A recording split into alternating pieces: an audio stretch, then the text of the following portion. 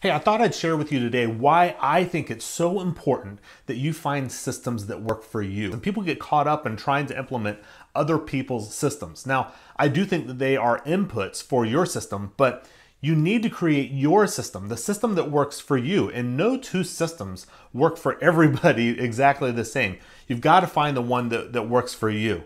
Now, whether you think that you have a system or not, you do have a system to get the work done that you need to get done. Write down what's the system that you do have. For any work that you do, how do you get that work done? How do you do that consistently? Claim that as your own. And then from this point forward, continue to improve upon it. You're going to improve upon it now for the rest of your life. What's a system that you already have working really well for you? Or what's a system that you know that you need to improve? Let us know in the comments. Having a system and owning your system is a part of authentic success with confidence.